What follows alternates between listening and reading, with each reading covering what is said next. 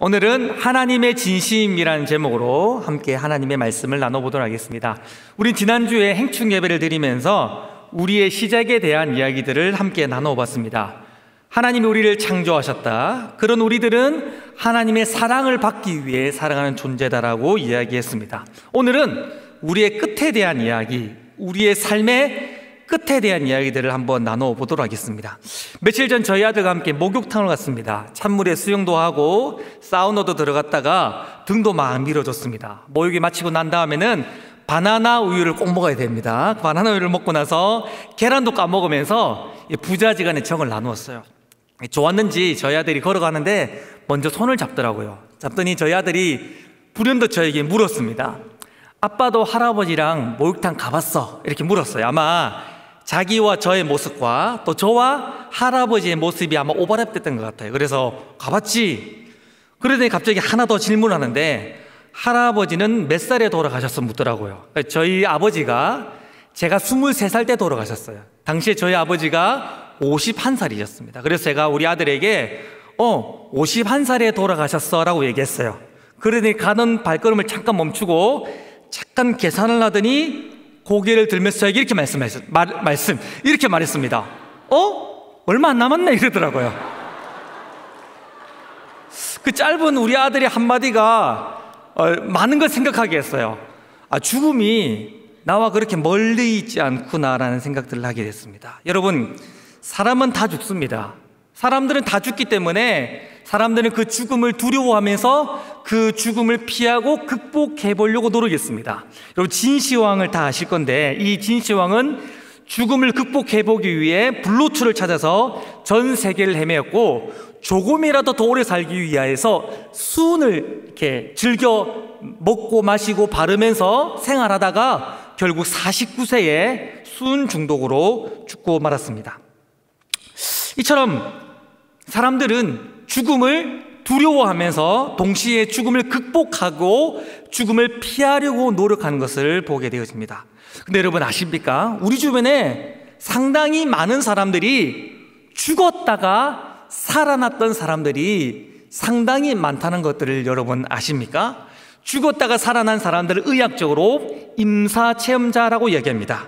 1975년도에 의학 박사인 레이몬드 무디라는 사람이 삶 뒤의 삶이라는 책을 발간해내면서 최초로 세계사 속에서 임사 체험에 대한 관심이 높아지게 됐습니다. 이 무디 박사는 150명의 임사 체험자를 조사하면서 그들에게 공통점이 있는 것을 깨달았습니다. 네 가지 큰 공통점이 있는데 첫째는 사람이 죽으면 유체 이탈을 한답니다. 그 유체 이탈이 뭡니까? 죽은 자기의 모습을 자기가 바깥에서 보는 거예요. 자기를 위해 슬퍼하는 가족들도 보고 의료진도 보면서 죽어 있는 자신의 모습을 자기 몸 바깥에서 보게 된다는 것입니다. 두 번째가 있는데 어둠을 통과하게 된답니다. 그런데 서양과 동양이 다른데 서양은 주로 그 어두운 터널을 통과하게 되어지고 동양은 주로 어두운 강을 통과하더라는 것입니다. 그리고 나면 세 번째 현상이 있는데 그 어둠을 통과하고 나서 밝은 빛을 보게 되어지고 네 번째는 자기의 삶이 파노라마처럼 쑥 지나가게 되더라는 것이죠. 그런데 여러분, 이런 임사체험자들은 일반 세계 역사 속에서도 많이 있지만 실제로 우리의 삶의 현장 가운데 가까이 있는 사람들 중에서도 실제로 있습니다. 여러분 사진 한번 보여주시면 이분 아십니까? 기억나시죠? 여러분 진짜 힘들게 했던 사람이에요. 트로트 찬양 인도자. 금요 성령 집회 때 똑같은 곡을 30분간 하셨던 춤추는 트로트 찬양 인도자 박용훈 목사님이십니다. 이분은 7살 때 어, 갑자기 저녁에 잠 집에 있는데 갑자기 경련이 일어나더니 그분 표현 그대로 하면 한쪽 입이 한쪽 귀까지로 확 돌아갔답니다. 그리고 거품 물고 쓰러지게 되어졌죠. 그리고 나서는 병원으로 동네 병원으로 이제 목사님을 이송했더니 동네 병원에서 큰 병원으로 가라고 이야기를 했답니다. 그래서 당시에 부산에 큰 병원들이 몇 개 있었는데 세 번째 안에 드는 큰 병원인 부산 침례병원에 가게 됐답니다. 그래서 그 병원에서 의사가 여러 가지 검사를 하고 난 다음에 그 의, 그 병, 명을 내렸는데 내막염이라는 병을 내렸답니다. 그래서 이 내막염은 등에서 물을 뽑아야 살 수 있는데 지금 이 아이의 상태를 보면 살 가능성이 그렇게 많지가 않고 등에서 물을 뽑다가 산다 할지라도 평생 내성마비로 평생을 살아가야 될 것이다라고 이야기를 했답니다. 어쨌든 등에서 이제 의사가 주사기로 물을 뽑는 작업들을 쭉 하고 있었는데 갑자기 새벽 2시에 정말 새벽 2시에 누워 있는 자기가 누워 있는 자기의 모습을 자기가 본 겁니다. 그리고 의사가 자기 등에서 물을 막 뽑고 있는 모습들을 자기가 봤답니다. 그러더니 좀 있다가 의사가 막 쫓아오고 간호사가 쫓아오더니 새벽 2시에 의사가 와가지고 새벽 2시에 이 아이가 죽었다라고 말하면서 자기를 천으로 덮더라는 거예요. 여러분 좀 안 믿는 눈치인데 어쨌든 그랬다는 것입니다. 그리고 나서 장례를 치러야 되는데 요즘은 안 그렇지만 당시의 병원법이 어땠냐면 사람이 죽고 나서 장례를 치르려면 반드시 어떤 과정을 거쳐야 되냐면 결제를 먼저 해야 돼요. 그러니까 병원비를 내야 장례 절차가 진행되어집니다. 장례가 어떻게 진행되어집니까? 장례가 진행되려면 먼저 죽은 시체를 영안실 냉동고에 집어넣고 그리고 방을 잡고 이렇게 절차를 가져야 되는데 새벽 2시니까 그때 당시에 카드도 없었고 은행도 문을 다 닫은 상태이기 때문에 병원비 결제가 안 되는 거예요. 그래서 이 죽은 박용훈 목사님을 응급실 한쪽 귀퉁이에 흰 천을 덮어 두고 두었답니다. 그런데 그로부터 2시간 40분이 지난 4시 40분에 4시 40분에 응급실에서 시체로 누워있던 박영원 목사님이 엄마! 이러면서 흰 천을 덜으면서 일어났다는 거예요. 병원이 깜짝 놀라가 난리가 난 겁니다. 의사가 사망 선고를 내린 지 2시간 40분이 지나서 죽었던 사람이 살아나게 된 거예요. 내가 이럴 줄 알았어요. 여러분, 눈빛이 상당히 지금 저 사기꾼 이런 눈빛인데 그럴 줄 알고 영상을 준비했습니다. 직접 죽었다가 살아난 박용훈 목사님의 진실 인터뷰 한번 보도록 하겠습니다. 예수님이 말씀하시니 죽은 박용훈이 살아났다네. 안녕하세요. 박용훈 목사입니다. 죽었던 저를 하나님께서 살리셨습니다. 진짜입니다. 안녕. 하나님이 죽었던 박용훈을 살리셨지만 상태는 그렇게 좋지 않은 것을 우리는 확인하게 되었습니다. 어쨌든 이분이 실제로 죽었다가 살아나게 됐다는 것이죠. 여러분 아십니까? 우리가 진리로 믿고 있는 이 성경에서도 꽤 많은 임사 체험자들이 있다는 사실을 여러분 알고 계십니까? 누가 있습니까? 나사로 같은 사람들. 또 유두고 같은 사람들, 설교 시간 졸다가 떨어져 죽었다가 바울이 기도해서 살렸던 사람들도 있고 최소한 일곱 여덟 명 이상의 임사 체험자들 죽었다가 살아났던 사람들이 성경에도 있다라는 것입니다. 그런데 여러분 일반 사회에서 말하는 임사 체험자들이나 또 성경에서 말하는 임사 체험자들 안에 공통점 하나가 있습니다. 그것이 무엇인지 아십니까? 그들은 잠시 살아났으나 다시 죽었다라는 것입니다. 잠시 살아나는 사람은 있습니다. 그러나 죽음을 극복하거나 죽음을 이겨내지는 못했다는 것입니다. 다 죽었다는 것이죠. 저는 오늘 여러분들에게 여러분의 미래를 가장 선명하고 가장 확실하고 정확하게 말씀드릴 수 있습니다. 여러분 아멘 할 준비하십시오. 제가 이야기할 때 여러분 크게 아멘 해 보십시오. 여러분들은 죽습니다.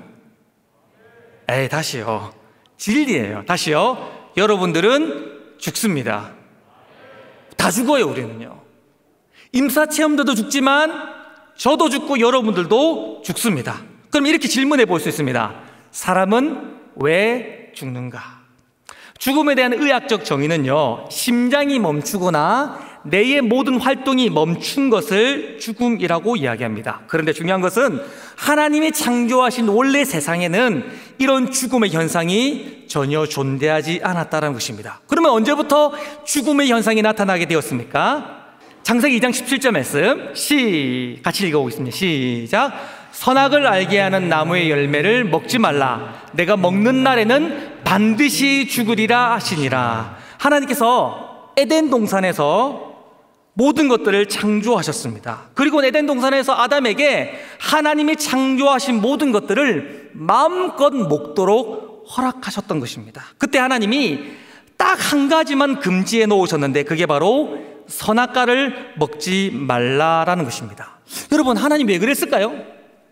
아담이 착각할 수 있는 거예요.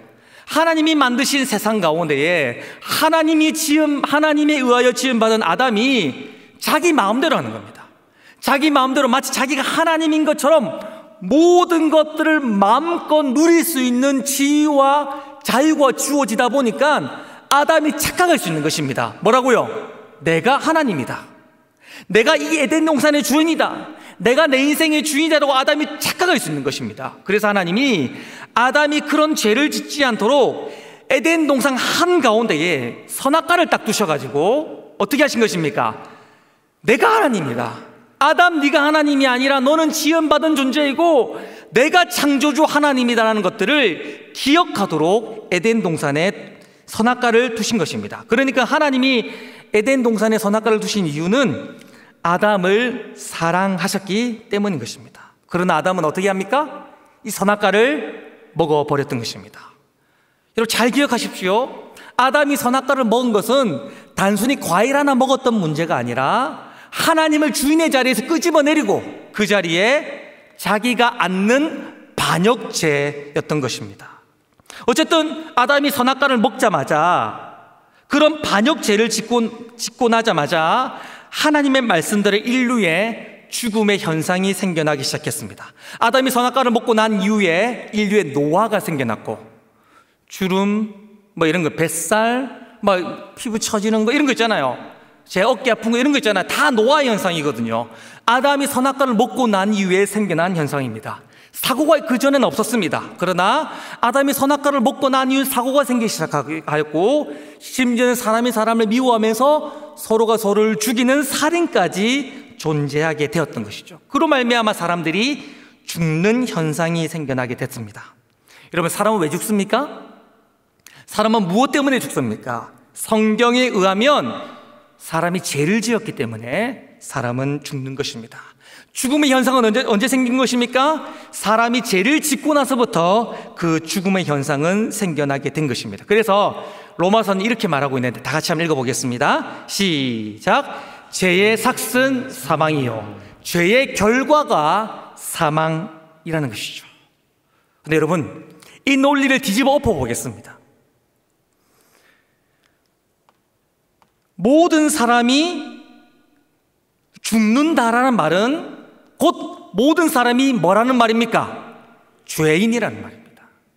사람이 죽는 이유는 죄 때문인데 모든 사람이 죽는다라는 말의 뜻은 모든 사람은 다 죄인이라는 것입니다. 그래서 로마서 3장 23절 말씀에 이런 말씀이 있는데 모든 사람이 죄를 범하였음에 라고 말하면서 이 땅에 존재하는 모든 사람들은 다 죄인으로 태어나 죄를 지으며 살아가는 존재가 되었다라는 것이죠.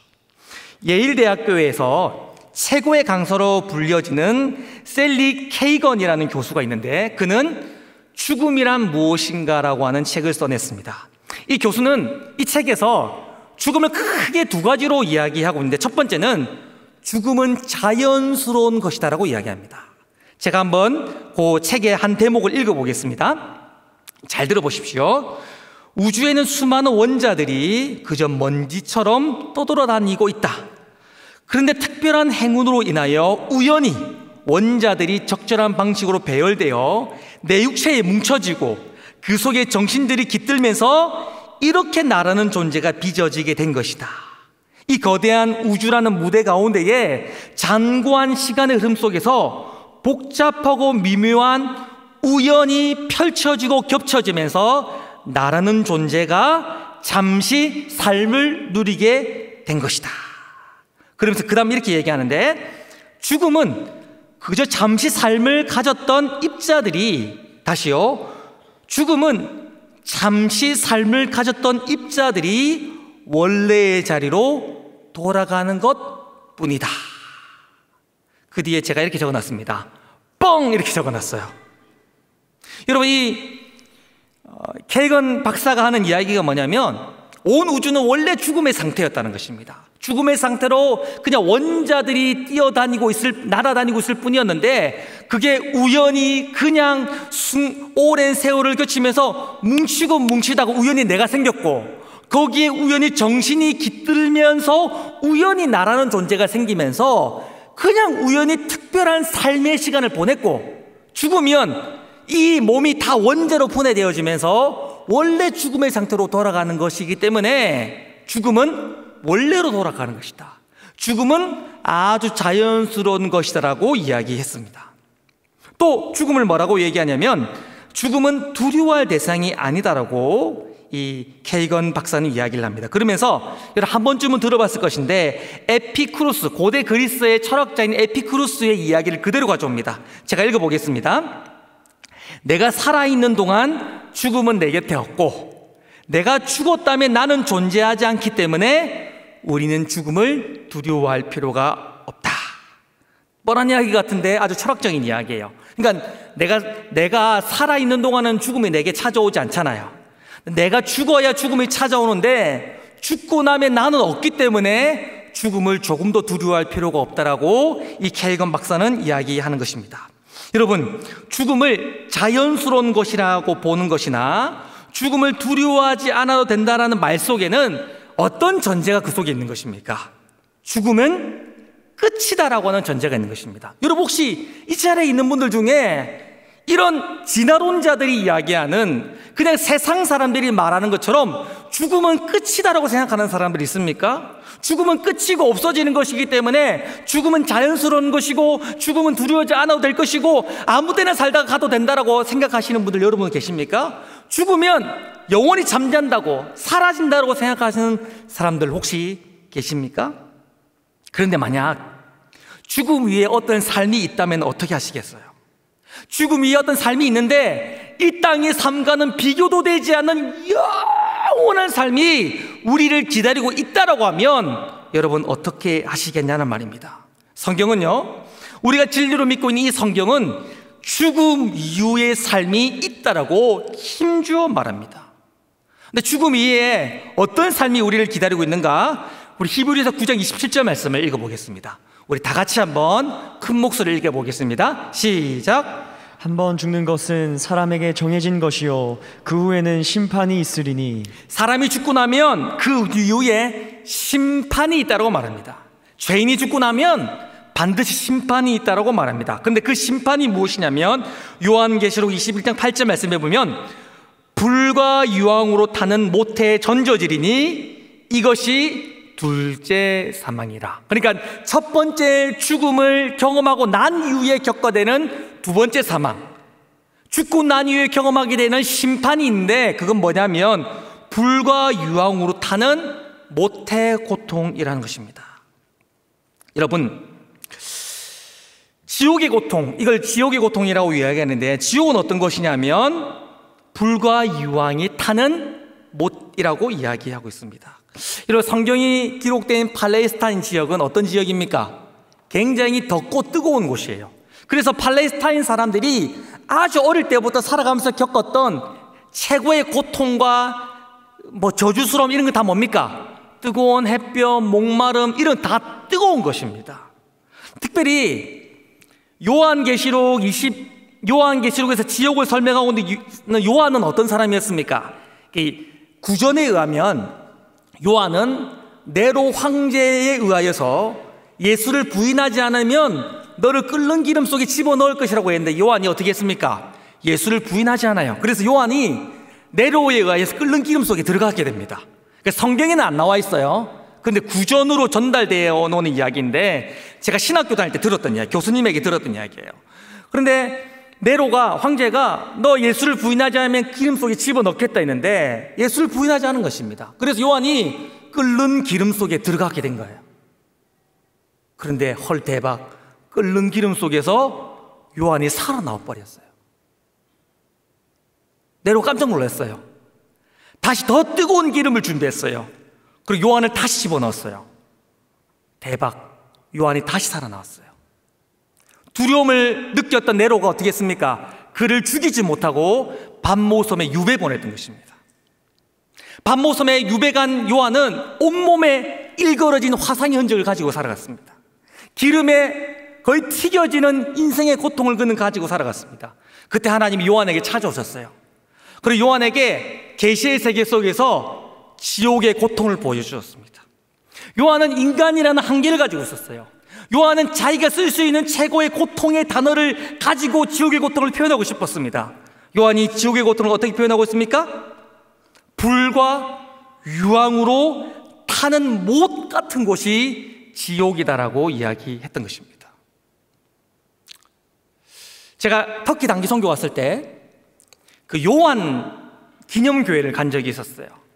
그때 이제 우리 그때 같이 갔던 청년들도 이 자리에 있는데 그때 많은 청년들이 거의 피곤해가지고 실신한 상태로 있었고 혹은 이제 쇼핑하러 막 다니고 있었는데 그 저는 요한교회 가서 꼭 물어보고 싶은 게 있었습니다. 그래서 요한교회 가서 선교사님과 또 무슬림 가이드와 제가 이렇게 세 명이 있으면서 제가 무슬림 가이드에게 물어봤습니다. 물론 선교사님 통역을 통해서 물어봤는데 내가 한국의 신학생인데 내가 이런 이런 이야기를 들었는데 요한이 끓는 기름 속에 들어갔다가 살아나왔다는 얘기를 들었는데 네가 가이드로서 그게 진짠지 그런 이야기를 들었는지 이야기해 달라고 제가 얘기했어요. 그랬더니 그 무슬림 가이드가 뭐라고 했냐면 그건 진짜다라고 얘기했습니다. 많은 무슬림들이 그걸 다 알고 있다고 이야기했었습니다. 요한은 성경에 나와 있진 않지만 역사적 자료에 의하면 자기가 경험했던 최고의 고통의 단어를 다 써가며 형용사를 다 써가면서 지옥의 고통을 설명하고 있었던 것입니다. 저는 지옥은 뜨거운 곳이 아니라 생각합니다. 단순히 뜨거운 지옥에 끓는 기름의 고통이 영원히 되는 곳이 아니라 생각합니다. 그것보다 훨씬 더 강력한 저주스러운 고통이 영원히 영원히 계속되는 곳이라 생각합니다. 여러분 살아가면서 언제 가장 슬펐습니까? 살아가면서 이불 하이킥 하고 싶을 만큼 언제 제일 비참했습니까? 어느 순간 여러분 가장 슬프고 고통스럽고 괴로웠었습니까? 그것보다 수만 배는 더한 완전한 고통이 영원히 계속되어지는데 자살할 수도 없고 그만둘 수도 없는 영원한 고통이 계속되어지는 것이 바로 지옥인 것입니다. 근데 죄송한데요. 미안한데요. 말할 수밖에 없는데요. 그게 죄인으로 태어난 저와 여러분들이 반드시 갈 수밖에 없는 미래이고 운명이라는 것입니다. 어떻게 해야 될까요? 해결책은 없을까요? 하나님이 우리에게 해결책을 허락하셨습니다. 하나님이 죄인된 우리를 여전히 사랑하셔서 우리에게 해결책을 주셨는데 그게 바로 복음입니다.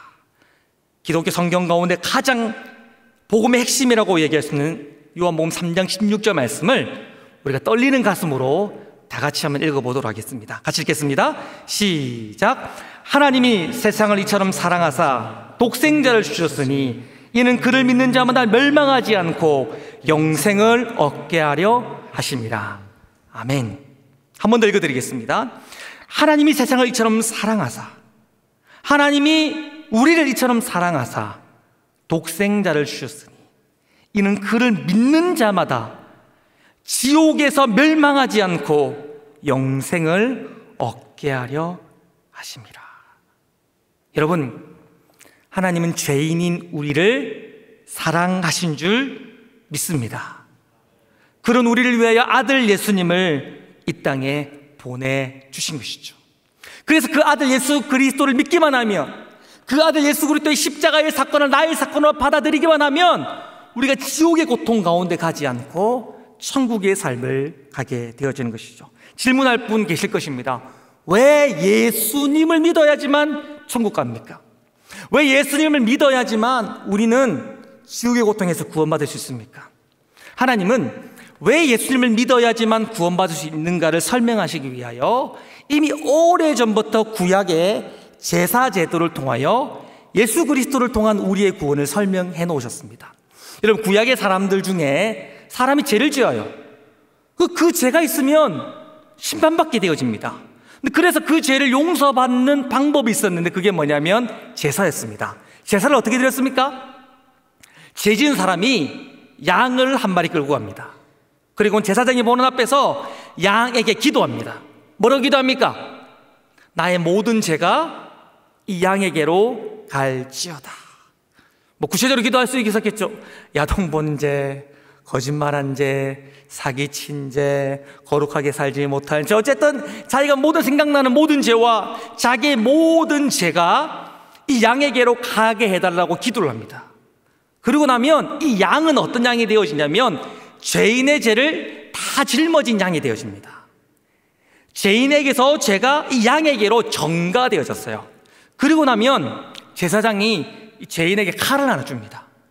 그러면 이 죄인이 양의 목을 빡 자릅니다.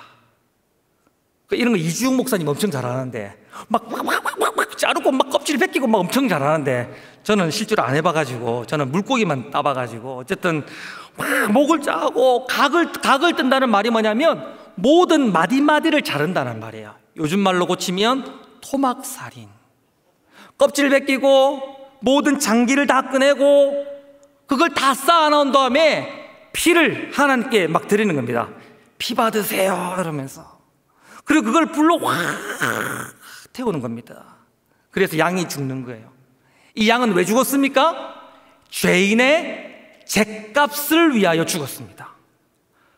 이 양이 죄인의 죄값을 짊어지고 대신 죽는 순간 죄인의 죄는 양의 죽음 때문에 완전히 사함받게 되어지는 것입니다.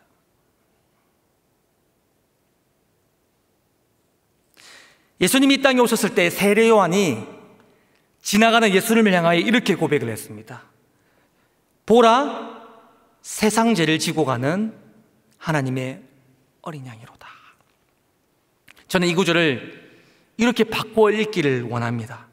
보라, 조인식의 죄를 지고 가는 하나님의 어린 양이다. 보라, 김보원의 죄를 지고, 지고 가는 하나님의 어린 양이다. 보라, 나의 죄를 지고 가는 하나님의 어린 양이다. 예수님이 이 땅에 오셔서 여러분과 우리의 모든 죄를 대신 짊어지셨습니다. 그리고 십자가상에서 죽으셨는데 자기 죄 때문에 죽은 것이 아니라 우리의 죄를 사하기 위하여 소멸하기 위하여 십자가에서 대신 죽었어요. 예수님이 대신 죽는 순간 우리의 모든 죄는 어떻게 됐습니까? 도말되게 된 것이죠. 저는 저희 딸을 놓고 물론 저희 딸이 네살 때까지 제가 아빠인지 몰랐다고 하더라고요. 워낙 새벽에 나가고 밤에 들어가서 몰랐다고 하는데 저는 참 섭섭한데 사실 저는 밤마다 집에 들어가, 들어가가지고 저희 딸과 꽤 많은 시간을 보냈었어요. 근데 그 중에 제가 가장 기억에 남는 시간들이 있는데 제가 집에 들어가면 저희 집 피아노가 있었는데 저희 딸을 피아노 의자에 위에 앉혀놓고 저희 딸과 같이 노래를 불렀던 시간들이 있었습니다. 그럼 피아노 치면 이제 피아노도 같이 치면서 막 노래도 부르고 막 이랬는데 그럼 우리 딸이 이제 엄청 씩씩했거든요. 그러면 막 한 살 요럴 때, 두 살 요럴 때 그러면 피아노 의자 위에 올라가 가지고 막 건반을 막 칩니다. 거의 모짜르트 수준이에요. 막 알아들을 수 없는 음악을 막 칩니다. 그러면서 막 이럽니다. 그럼 그걸 보고 우리 아내와 저는 오 잘한다 잘한다 이러면서 가 있어요. 뭐 그렇게 즐거운 시간을 보냈습니다. 이렇게 보내고 있는데 사건이 일어났습니다. 저희 딸이 건반을 막 치다가 갑자기 한 손을 피아노 뚜껑 위에 탁 올리게 된 겁니다. 여러분 피아노 신디사이저 말고 업라이트 피아노 뚜껑 탁 닫히면 손가락 잘리는 업라이트 피아노 엄청 두꺼운 거 있죠? 그 한 손을 피아노 뚜껑 위에 딱 올리고 한 손으로는 피아노를 허허허 치고 우리는 허허허 이렇게 하고 있었어요. 근데 갑자기 우리 딸이 흥분했는지 이렇게 하다 갑자기 피아노 뚜껑을 확 당긴 거예요. 근데 한 손이 어디 있습니까? 피아노 건반 위에 있었습니다. 피아노 뚜껑이 확 닥치는데 우리 딸이 한 손이 피아노 건반 위에 있는 겁니다. 그런 부모가 대단한 건 그 장면을 정확하게 포착한다. 그 제가 아직도 그 1초밖에 안 되는 장면들이 영화처럼 제 머릿속에 기억에 남아요. 허허허허허허허허허허허허허 그런데 갑자기 우리 딸이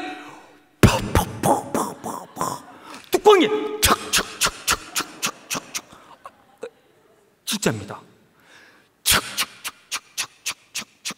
내려오는데 우리 딸 손가락 탁탁탁탁탁탁 내려오면 손가락 팍팍팍팍팍 되는 뻔한 거예요.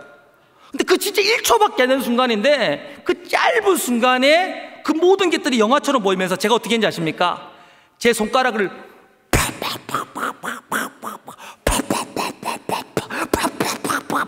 하면서 제 손가락을 확 집어넣습니다. 그리고 피아노 뚜껑이 꽝 하고 닫혔죠. 어떻게 됐을까요? 피아노 뚜껑은 정확하게 제 손을 찍었습니다. 여러분, 쟤는 누가 지었습니까? 피아노 뚜껑을 닫는 쟤는 누가 지었습니까? 걔가 지었어요. 피아노 뚜껑을 닫는 쟤는 지가 지었습니다. 그러나 그 죄의 심판은 누가 받았습니까? 누가 찍혔습니까? 내가 찍혔다고요. 그러나 우리 딸의 손의 구원은 우리 딸이 받게 된 것입니다. 이 손가락이 대속의 손가락입니다, 여러분. 저는 가끔 하나님께 질문한 적이 있습니다. 하나님, 왜 굳이 하나님의 아들이신 예수님을 이 땅에 보내셔야만 됐습니까? 그리고 왜 예수님을 그렇게 비참하고 처절하게 십자가에 못 박혀 죽게 하셨습니까? 라고 질문한 적이 있었어요. 하나님 전능하시잖아요. 하나님 온 우주를 말씀으로 창조하신 분이시잖아요. 하나님 얼마든지 우리를 구원할 수 있잖아요. 어느 날 하나님이 하늘의 번개를 치게 하시고 하늘을 붉게 만드신 다음에 온 세계 사람들이 한순간 하늘을 집중하게 만드신 다음에 하나님의 손이 나타나는 것입니다. 그리고 이렇게 기록되는 것이죠. 오늘부터 다 용서. 그러면 온 인류가 한순간에 구원받는 건 아닙니까? 하나님 충분히 그렇게 할 수 있는 분 아닙니까? 그것도 귀찮으면 하나님은 그 타투스의 손가락처럼 하나님 손가락만 한번 튕기시면 온 인류가 한순간 구원받을 수 있는 것이 분명한데 왜 하나님은 그렇게 쉬운 방법을 다 놔두시고 이 땅에 하나님이 아들 예수님을 보내셔서 그 예수님의 십자가에 왜 죽게 하셨습니까? 라고 질문했던 적이 있었습니다. 여러분 그런 생각 해 본 적 없으십니까? 그런데 어느 날 한 책을 읽게 됐는데 여러분 신학자이자 철학자인 키에르 케고로라는 사람이 있는데 그분이 쓴 철학적 단편이라는 책에 이런 이야기가 나옵니다. 어느 날 왕이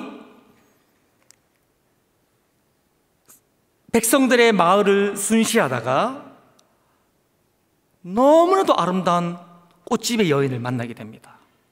왕은 그 여인을 보는 순간 한눈에 사랑이 빠집니다. 궁궐에 돌아온 이 왕은 그 여인이 생각나서 상사병이 걸렸어요.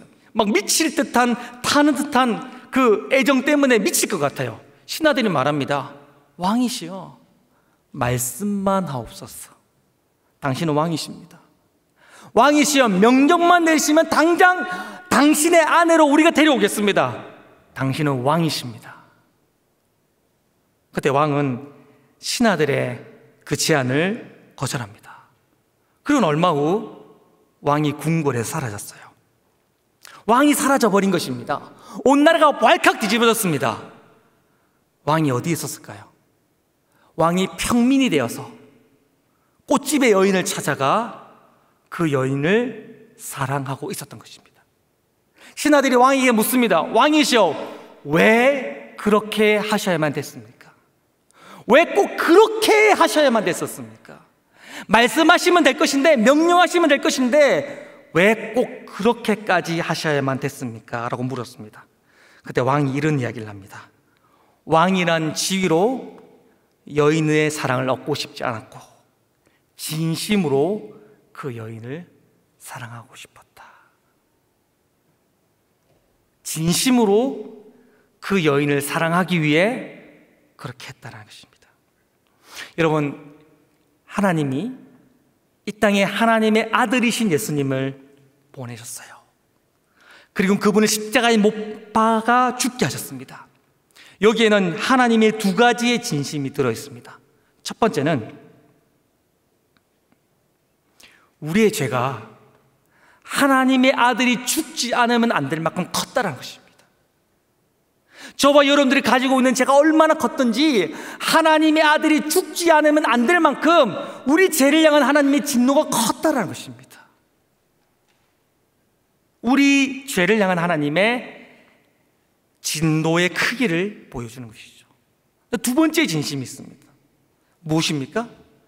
아들과 바꿀 만큼, 아들을 주시면서까지 우리를 살릴 만큼 하나님에게는 우리가 소중하고 사랑스러운 존재였다는 것이죠. 그래서 이 하나님의 진심을 사도 요한은 이렇게 고백하고 있습니다.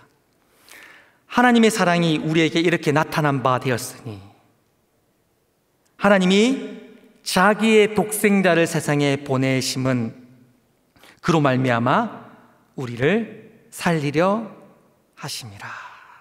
아멘. 하나님의 진심이 느껴지십니까? 하나님의 사랑이 우리에게 이렇게 나타난 바 되었으니 하나님의 사랑이 우리에게 이렇게 보여졌으니 하나님의 사랑이 우리에게 분명하게 이렇게 증거되었으니 하나님의 당신의 사랑을 이렇게 우리에게 표현하였으니 그게 무엇입니까? 자기 독생자를 하나님의 아들을 이 땅에 보내셔서 십자가에 죽게 하심으로 우리를 구원하신 게 우리를 향한 하나님의 사랑의 진심이라는 것이죠. 사랑하는 여러분, 이 하나님의 진심을 여러분 거절하지 마시길 바랍니다. 성경에는 하나님이 우리를 사랑하신다. 그래서 나의 곁으로 오라. 나의 자녀가 되라. 내 백성이 되어라고 하는 이 초청이 1800번 이상 나와 있다고 합니다. 하나님은 창세기부터 요한계시록까지 하나님 당신의 진심을 보이시면서 끊임없이 내게로 돌아오라. 끊임없이 내게로 돌아오라라고 요청하시고 당신의 진심을 보이십니다. 이 하나님의 진심을 받아들이는 저와 여러분 될 수 있기를 주님의 이름으로 축원합니다. 그럼 이 하나님의 진심을 받아들이면 어떤 삶이 우리에게 시작되어지냐면 천국이 시작되어집니다. 여러분, 천국이 어떤 곳이죠? 천국이 어떤 곳입니까? 천국은 완전한 행복이 영원히 계속되어지는 곳입니다. 10편 90편 10절 말씀에 보면 이런 말씀인데 우리의 연수가 70이요 강건하면 80이라도 그 연수의 자랑은 수고와 슬픔뿐이요 신속히 가나니 우리가 날아가나이다. 이 말이 뭐냐면 우리의 삶이 굉장히 짧다는 것입니다. 그런데 이 짧은 삶도 도찐 개찐이라는 거예요. 잘 사는 사람이나 못 사는 사람이나 별반 차이가 나지 않다라는 것입니다. 성경이 끊임없이 우리에게 말하는 건 뭐냐면 이 땅의 삶은 찰나다, 안개다. 바울은 요즘 감성에 딱 맞도록 우리의 삶을 뭐냐면 잠시 텐트 치고 여행하는 것이 우리의 삶이다라고 이야기했습니다. 그러나 이 땅의 삶이 중요한 이유가 뭡니까? 죽고 난 이후의 삶은 영원한 삶인데 그 영원한 삶에 비해서 이 땅의 삶은 너무나도 짧아요. 잠시 텐트 치고 잠깐 있다가 가는 삶인데 그런데 이 땅의 삶이 중요한 이유가 뭡니까? 이 땅에서 우리가 어떤 선택을 하느냐에 따라서 영원한 세상이 영원한 불행인가 영원한 행복인가가 결정되어진다는 것입니다. 그래프를 한번 보여주시면요. 우리 삶이 이러는 거예요. 여러분 보시기에 왼쪽에 100년이라고 적혀 있는 후하게 준 점수, 이 연수가 뭐냐면 우리의 삶이에요. 도찐 개찐과도 같은 그저 그런 이 땅의 삶인데 이 땅의 삶에 비해서 죽음이라는 이 선을 지나고 나면 그 죽음 위의 삶은 영원합니다. 그런데 죽음 위의 삶은 딱 두 가지로만 나눠져요. 완벽한 행복이 영원히 되든 계속되든지 완벽한 불행과 저주가 영원히 계속되든지 두 가지의 삶밖에 없습니다. 근데 그 영원한 삶이 무엇으로 결정되어지냐면 100년이라고 하는 이 땅의 삶 속에서 우리가 어떤 선택을 하는가에 따라 그 영원한 세계가 달라진다는 것이죠. 여러분, 그러므로 이 땅을 살아가면서 우리가 가장 우선적으로 중요하게 해야 될 일은 무엇인지 아십니까?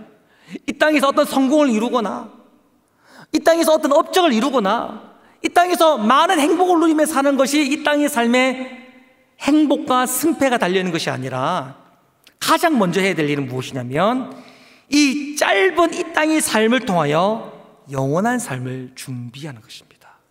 근데 영원한 삶은 어떻게 준비되어지는 것입니까? 하나님이 보내신 하나님의 아들 예수님을 나의 구세주로 받아들이고 그분을 내 인생의 왕이요 주인으로 모셔드리는 것인 것이죠. 여러분 인생의 가장 중요한 선택, 여러분 인생의 가장 화려한 스펙, 여러분 인생의 가장 행, 가장 세상의 행복은 무엇인가? 바로 예수 그리스도를 나의 구세주로 받아들이고 그분을 내 인생의 왕의 보좌 위에 앉혀 드림으로 말미암아 천국을 소유하는 것입니다. 오늘 그렇게 그 예수님을 내 삶의 구세주로 받아들이고 내 삶의 주인으로 모셔드리기로 결정하는 저와 여러분 될 수 있기를 우리 주님의 이름으로 축원합니다. 아멘.